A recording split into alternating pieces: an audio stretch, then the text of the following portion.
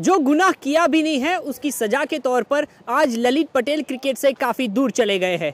जबकि Gujarat cricket association की जो बड़ी मछलियाँ हैं, वो आज भी क्रिकेट पर राज कर रही है। आखिर ये कहाँ का इंसाफ है? कैमरामैन शिव कुमार शर्मा और सूरत से ब्रिजेश शाह के साथ केतन जोशी सी अहमदाबाद।